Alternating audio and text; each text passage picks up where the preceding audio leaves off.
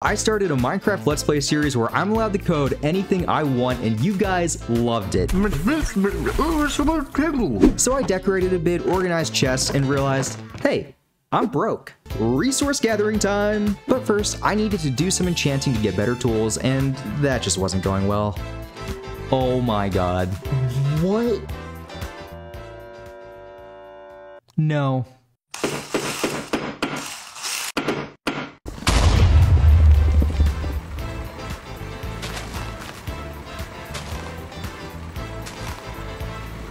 That's right, gamers, we are in the industrial era now, no more of these primitive pickaxes. We are on to bigger and better things. Mojang would not give us the magic we desired, so we made our own magic on this channel, and let me tell you, I learned a lot doing this project. It tickled my brain in the best possible way. Time for some beta testing. So the tunnel borer actually comes packaged up as an egg, which you can put down and spawn like that. Then if you right click, you can get into the tunnel borer. Now, if you were to drive into something, it actually slows down the tunnel bore. Oh, it should. Uh, okay, that's not good. That might be our first bug. I, I, was expecting it to slow down. Uh, okay, now it's slowing down. That's really weird. I'm not sure why it didn't slow me down before, but I am actually so low on iron that I can't even make an Advil. Advil? An anvil. I don't have a headache even though that drill is hitting me in the head. I need, I need iron. I know what you're thinking, Whimzee. It's so dark in here, and you got those big floodlights. Why don't you turn those on? Well, I got bad news for you. That's just decorative, at least for right now. Perhaps I will change that in the future because I think it'd be really cool to be able to turn those lights on. And to be honest, it'd be a little bit annoying having to get out and then put torches down every couple of blocks or so. So don't worry, that thought has definitely crossed my mind. Okay, besides the lights, pay attention to how much detail went into this. I am super proud of this. I even detailed the inside. Look at that. We got we got an industrial looking uh, control panel type thing with a steering wheel and different pedals. I literally went to Google Images and I copied the layout of a crane. Listen to the sound while I'm idle, and listen to the sound when I'm driving.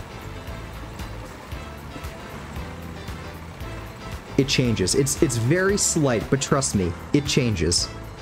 And also, I mean, it definitely changes when you you start drilling into rocks. Ah, yes. So peaceful. And don't forget the billowing smoke. I showed my girlfriend this, and the first thing she said was, hey, why don't you make a renewable energy one? And I think, it's just fine down here.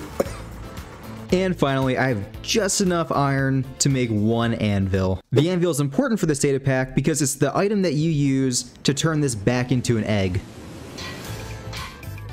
Now I'm sure you're thinking, Whimzee, if you didn't have an anvil before, how did you turn it back into an egg? Well, I don't know if I'd call this an exploit, but I designed this so the drill can actually die. And when it does, uh, Okay, there we go. It actually turns back into an egg.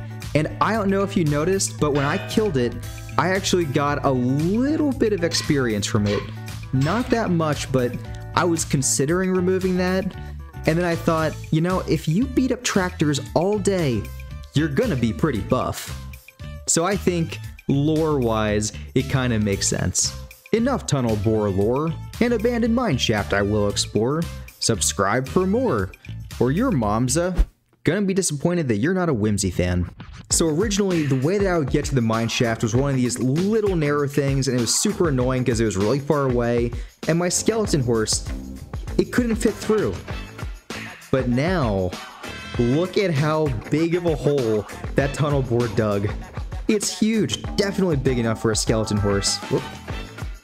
And I even found some, some redstone, some iron, and I think I saw a diamond or two along the way. Oh, there it is. I just want to remember what it feels like to use a pick. Ah, how quaint. Even more diamonds.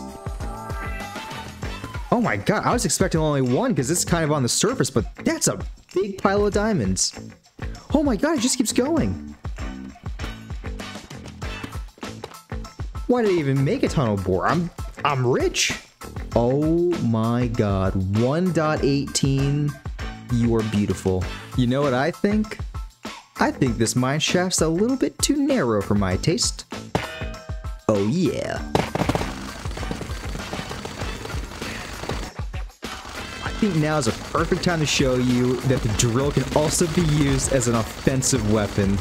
Look at that. It grinds not only stone, but also your enemies, which is awesome. Now, I had a nightmare that I would be drilling mindlessly and I would accidentally hit a spawner and it would break it. But I put an exception into the game so that you won't actually.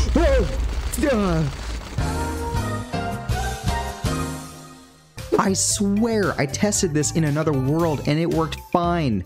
I even have the spawner line in the undrillable file. It, it, it, should be working fine.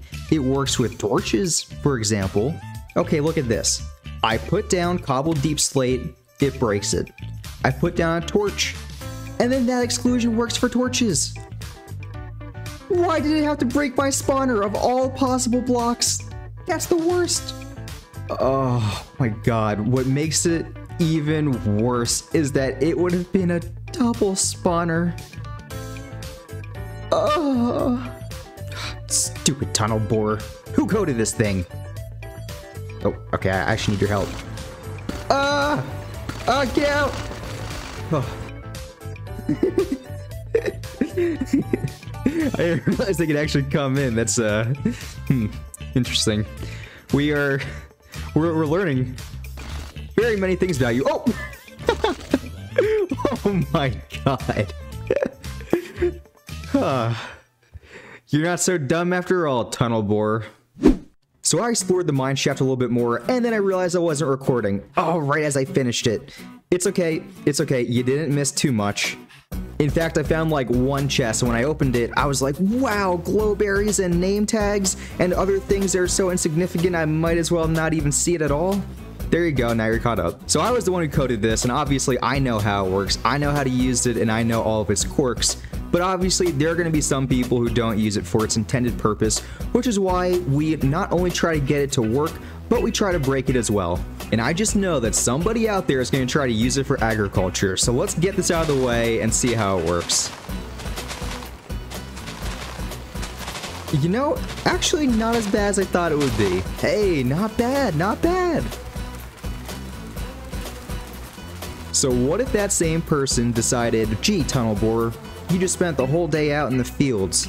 I think you deserve to go for a swim. What's gonna happen? I actually have not put this in water yet, so I don't know. Oh my god, I'm desynced.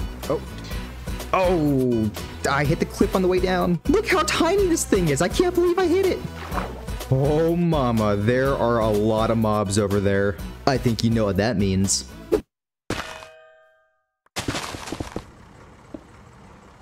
Okay, there's a lot of mobs down there.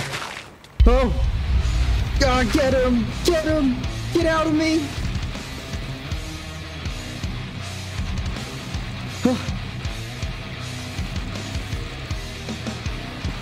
Okay, it's doing pretty good, actually.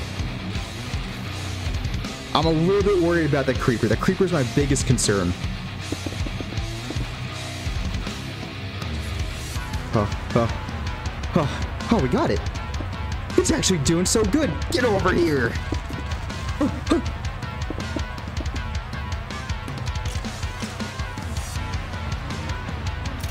Victory dance! Yeah, bet you didn't realize this baby has hydraulics, did ya? And since you made it so late into the video, I'm going to share with you a little Easter egg that I will never ever mention again in another video ever. So you and me, we have a little secret. And that secret is this tunnel borer can actually turn into a motorcycle. If you if you look at the front wheel and you right click uh aha!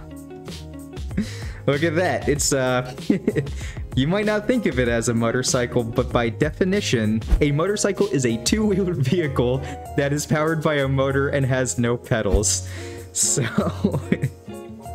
I only see two wheels. yep, feature, not bug. In fact, I wonder what else I can dismantle on this thing. Can I get the drill? Okay, I got one of the drill pieces. Okay, I'm slowly dismantling it. Oh, okay, it's still there. I want that big drill. How do I get that? Aha! I got it. it looks ridiculous. It looks so big. But now nobody will mess with me. I mean, it looks like a lance. In fact, I wonder. Look at it in the item bar, it's so big. Oh my god. Yeah, nobody will mess with me now. Hmm, what else can I take away? Who coded this thing? oh man. It technically still works. I I consider this a win personally. Oh my god, it actually looks really cool in the inventory. I wonder, can I do Oh, it works, baby. Look at that. oh man. You know the drill. Press that subscribe button. Oh my god. I did not think this episode would go this way. And I'm sure if you've never made data packs before, you must be really confused. Heck, I'm confused and I made this thing. I love I love that I can actually still still see things with this. I'm looking at you cows. You don't want to get drilled, do you? Wait a minute. I totally forgot that I wanted to see how this fares in the water. Okay. Okay. Well, it's not sinking anymore. It is making that sound continuously.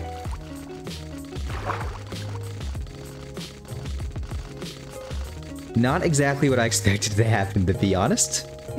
Okay, so you look at this tunnel bore and you see one coherent entity, right? Well, in reality, this is actually like seven different things combined into one. Things are gonna get even more weird when I turn off this texture pack. Everything you see is actually just retextured iron nuggets. This is actually a couple armor stands, a mule, and a villager.